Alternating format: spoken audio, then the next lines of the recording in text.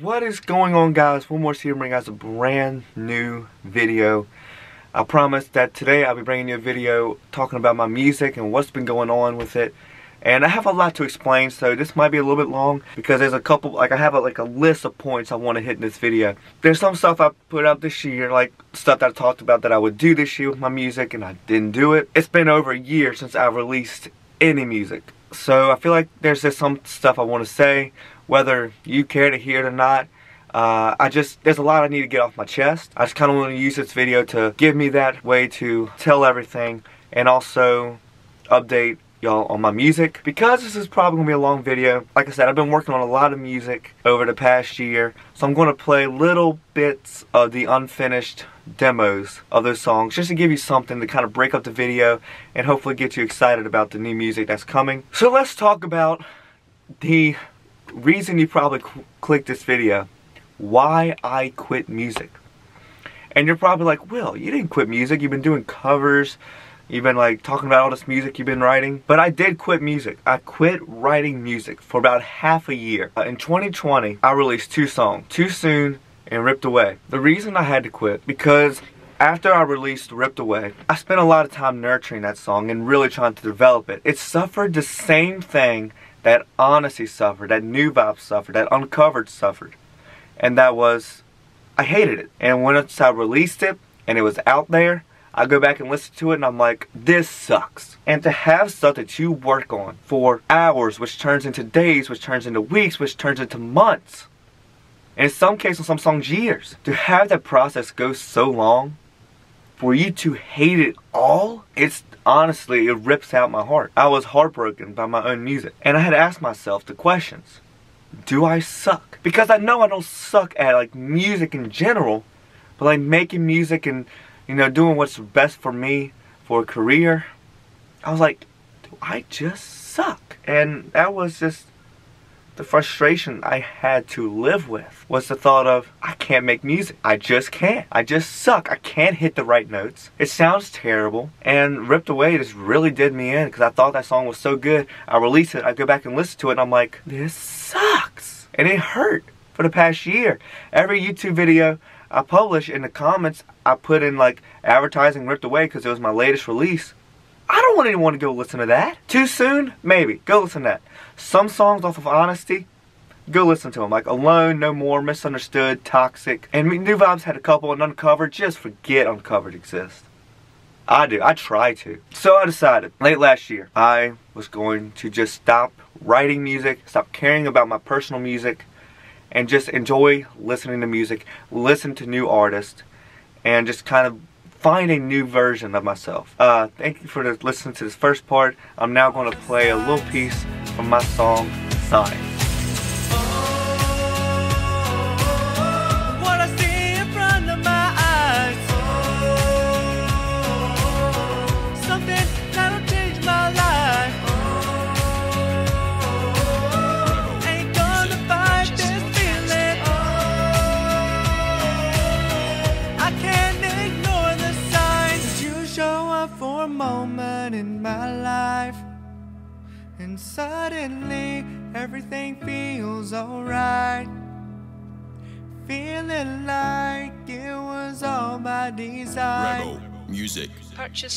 Tracks today. Know it must be a sign. So let's talk about how I rebounded. So I took this period of time to listen to new artists that I haven't listened to a lot and really just delve into new catalogs of music to inspire what I do now. I delved into the works of The Weeknd, Post Malone, Miley Cyrus, Demi Lovato, One Republic. I really just, and of course the Jonas Brothers, but that's obvious um, for me. So I, these new artists, I just really just went head first right into it, and I said, you know what? I think I'm I fi I'm finding something here. So that's pretty much August till December slash January of 2020 into 2021. I get a spark in about January and February 2021 where I go on this songwriting high. I mean, I am just writing out songs. I mean, they're coming out just like this. So then I'm like, man, I'm on a fourth album. scary hours. It's gonna be this, and it's gonna be this, and I'll have this EP here, and this, and this, and this. Not any of that has happened. The rollout of those releases were supposed to start in March. We're in October. I haven't released a thing. Because, why? Because I took time to nurture the music and realized some of it sucked. That's the main thing. I need to realize what sucks and what doesn't. Now there are some that made it out. So now I'm going to play you a little bit of one that made it out of that hole. It's a song coming out next year called Demon.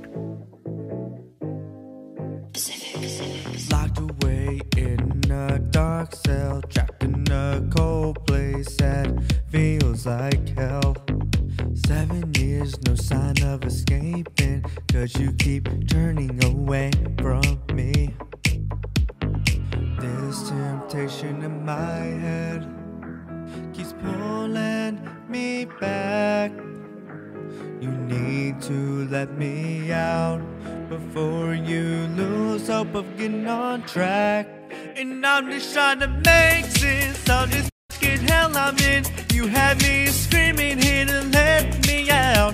But you just shout me out, cause you think it's okay to kill me this way. You know you are my demon.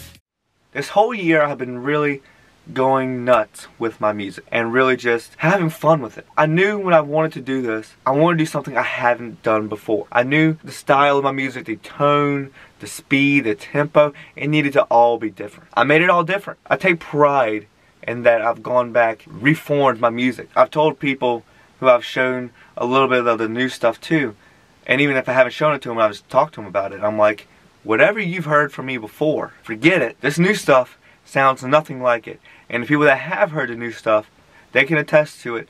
It sounds nothing like my old music. It's more instrumental, less electronic. I mean, there's still electronic stuff in there because that's just the wave of today's music. It's less of it, and it's slower, but faster. The speed of the songs are faster, but the pace that I sing the songs is slower. One thing that I really suffered in my past was every second of the song I tried to really fill it up with lyrics. Sometimes it's important to let the song breathe. Because I noticed as I was growing listening to music over the last year, I realized I enjoy listening to the music in the song as much as I do the lyrics. So I knew when I made the music this year, I wanted to have the songs speak not only through the lyrics, but through the music. That has been the joy of my life. I've written so many songs this year. Over the last month, you know, inspirations come in and out of life. So when they're in, if there's any songwriters out there listening to this that need a little bit of advice, when you have a little bit of inspiration, start writing. Because that inspiration that you start writing, you're going to find that you really like it. And it's going to grow and grow. And the more that inspiration grows, the more songs you're going to write. And I promise you, when you write songs out of inspiration and not out of, hey, I want to write a song, when you feel like inspired, there's the best songs you're going to create. Because I have a bunch of those songs from the past like month or so. And they're some of the best songs I've ever written. Because they come from true inspiration. I still have that inspiration now. I'm still hammering out songs. You know, the inspiration, we hope it lasts forever. Sometimes they do, sometimes they don't. You know, I've had a lot of inspiration from my music in the past, but it's been like breakups and sad stuff. Now it's the first time where it's like really happy. And I think it translates into the new music. And I think many of you will enjoy listening to the music more because it's happier. It's just more positive. And yeah, there's still the negative ones here and there, but they are far in between. While Honesty definitely is a very personal album because it is essentially a breakup album. It has a lot of truth being spoken in it. The new music is by far the most honest I've ever been. And I think you're going to hear it in my next song that comes out called Stay, which has been submitted for release, so bearing any setbacks from my distributor, Stay will be released October 29th, 2021. New and more single. First time since August of 2020 you're getting a new song from me. I'm so excited to be bringing it to y'all. I'm not going to play any of it in today's video because I want you to wait you to wait. And I'll release a video next week talking more about the song itself. But just saying it now, you get the exclusive reveal now. Before I announce it to social media next week, stay. It's coming out October 29th. I'm so hyped to bring in this song. And I'll talk more about it um, next week. But, you know, I did tease a song there. You know, it's only right that I play another piece from a song. So, here is a piece from my song, Find the Truth. Girl, what are you hiding? I notice you won't look me in the eye. Girl, what's on your mind? You're giving me an off-put vibe. I need to know if you want me to let go. I need to know if you want me to hold you close. Gotta know where I go from tonight. Wanna know if I still get to call you mine. Gotta find the truth. I don't care if it breaks my heart in two. Gotta find the truth. Wanna know what there's a future for me and you. I let my late night talks underneath the stars. So do we just stop it? Oh yeah, I'm looking for the truth. Gotta find the truth. Oh yeah. So hopefully a bunch of you are excited now that I have told you that I'm releasing a new song. And I'm excited. I'm just, I'm thrilled. It makes me so happy to be releasing music again. And uh, really enjoying it and really having many people listen to it. And when they all say, yeah, that's good. That is so good. And I'm like, are you saying it's good like for me? Or good like the song's actually good? No, no, the song is actually good. Most people who have heard some of my old stuff, I I'll take pride in this, I'm gonna say it. When I show them the new stuff, they think I'm covering another artist.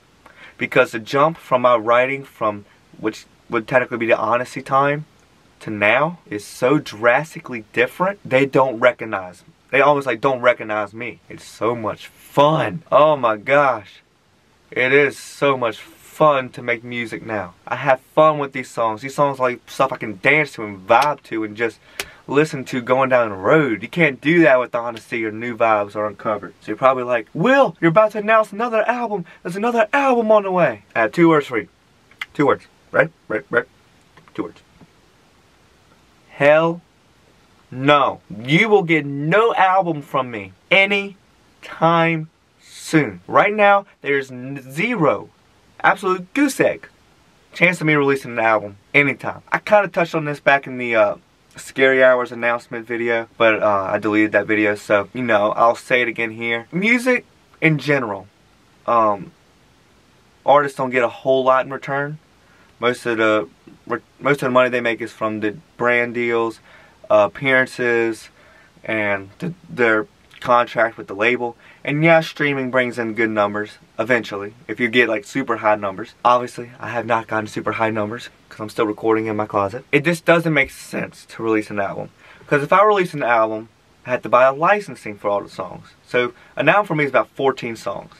So if I had to buy the licensing, which is about 30 bucks per song, to make almost no return, and unless a bunch of people just decide, hey, I want to listen to his music, most of the songs aren't going to get listened to anyway, then what's the point of releasing an album? So, going forward, I just, I feel it's best for me that I just do singles. And I'm happy with just doing singles. Because that way I get to put all my focus and all my energy into one song at a time when it comes to release and what comes after that. And really pushing it and getting people to listen to this song at a time, not try to listen to 14. Because unless you love that artist, listening to 14 of their songs at one time is a commitment. And I'm not blind to that. I think I was back when I released the past albums, but now I'm like, it's almost like you gotta sit down and just be committed if you want to listen to like a whole album especially to an artist that you don't like die hard listen to unless it's really good. And I think my stuff's really good, but I'm still not at that point where I'm comfortable releasing an album. You will just be getting singles from me. Now I will say there's a bunch of songs that I have written that I don't think could stand on their own as singles. They're just not single types. There are some songs out there that they are very good, but they're just not a single type song. I could do an EP at some point where I release where it has a couple of singles that are already released as well as a couple other songs that I just felt weren't good enough to be singles and I kind of threw them in there and I'll make an EP out of it. I would expect that. Maybe it's like halfway through next year or something. Maybe if I feel like it. I'm not going to make any commitments. I can make a commitment that you're getting singles from me almost close to monthly going forward. Um, because there's songs that are ready to go and are very close to being ready to go and then get them reviewed and then it'll be ship them off to the distributor. New songs, woohoo! I want to talk more about how that's going to be going forward, but you know what time it is. I'm going to play you a piece of my song, You Keep Me Going. It's a magical feeling when I know I got you by my side. It's like time just stops moving. I don't need it when I'm lost in your eyes. And when I see your smile, when I see your smile, I swear it makes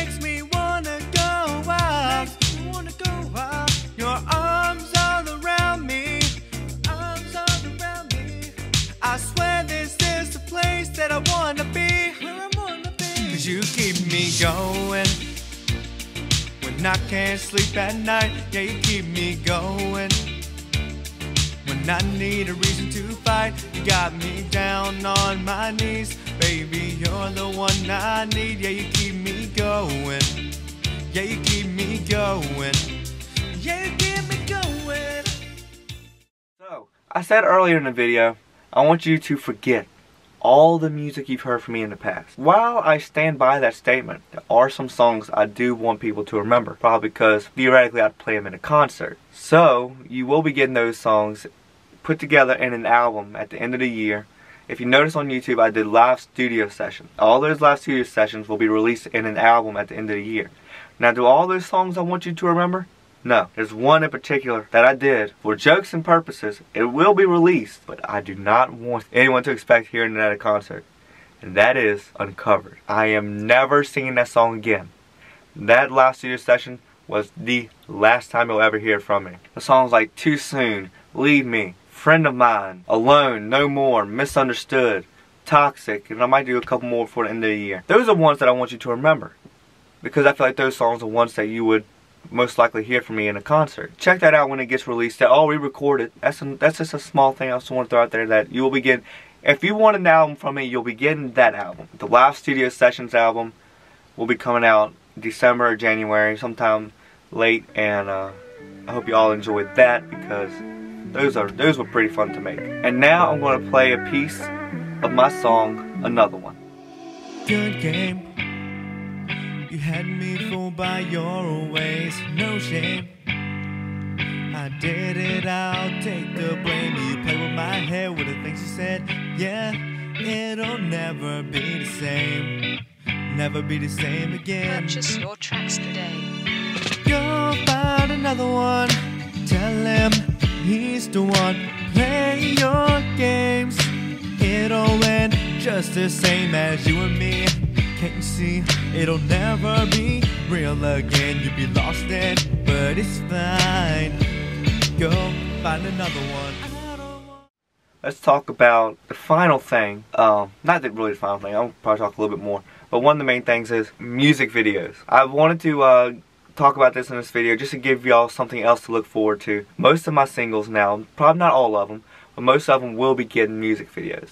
I'm working on a script to pretty much what I envision are like the next three or four singles and working on those scripts. One of them will be shot pretty soon because the song's coming out like in a couple weeks. So working on really getting that out and uh, filmed so it can come out shortly after the song. Not like the Alone music video where it's one shot and it's just split down the middle, no camera movement. No, this one will have movement, multiple shots, multiple scenes, and it's going to be fun. You know, we're uh, just planning it out, seeing what makes most sense when it comes to shooting them. And I'm excited to bring all these music videos. Some of them are going to be big, some of them are going to be big, some of them are going to be just kind of small and low key. But no matter what, they're going to be they're going to have scenes, they're going to have stories that you can follow, so you're not just looking at one thing the whole time. That's I just want to throw that out there about my music videos. But also, when it comes to the new music, Ripped Away was on my old mic and the old setup. As you see in the videos I made this year, I had the new mic, the new headset, the monitors, and I just have learned more about when it comes to editing and mixing music. The going to sound much better, much different. That's another reason I quit music. Um, it's a smaller reason, but it's because the equipment was starting to not sound good after a couple years. Not that it sounded great to begin with, but it was getting worse. So I just decided I needed to get rid of it and just be like, I'm not re releasing more music until I can get new equipment. Got new equipment at the beginning of the year, and then been at work since. So that has been the story of my music life for the past year. I just feel like an an explanation for why I haven't released music when I said I would. It means a lot to me that people do ask me when's the next music coming out because it, at least whether it's for jokes or for seriousness, it's good to kind of have that question in the back of your head. It's like, oh, when am I releasing new music? And I'm so excited to be getting around to it. I'm enjoying making music again. I found my inspiration when I took that time off and I don't hate my music anymore because I take time to really take care of it and nurture it and I love it. I truly, honestly love it and I hope you guys will too. I'm just, mm, it's going to be good. So let's get it. We got the Will Morris music on the way which also means new merch items so just keep an eye out for that when the songs come out, merch comes out. Uh, be on the lookout for music videos at some point and more music announcements. I'm happy making music and I love it. So I hope y'all love it too. Make sure to subscribe if you haven't already. Make sure to like this video if you enjoyed. Make sure to hit that bell button down below so you're notified every single time I put a brand new video to the channel, a brand new song, a brand new music video. I'm Morris and I'm out. Peace!